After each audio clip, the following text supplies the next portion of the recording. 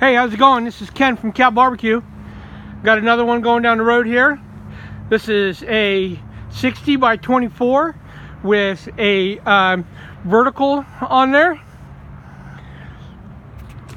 Inside the vertical, we have four shelves. Got our diverter plate, firebox, Got our custom firebox grate. Those are half inch uh, thick bars. Customer wanted fire brick for the bottom of it.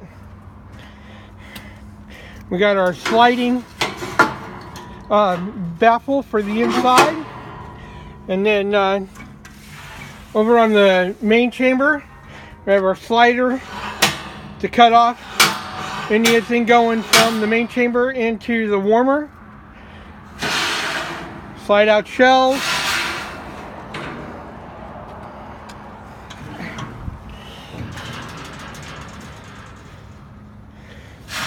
This customer wanted to be able to uh, pull it around his property with his uh, ATV.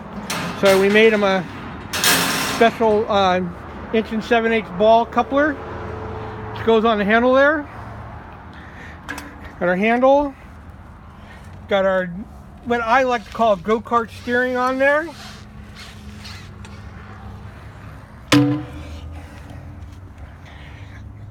There you go. Once again, it is a um, a uh, 60 by 24 up over here we have the uh, we have the dampener for the top there. On the door right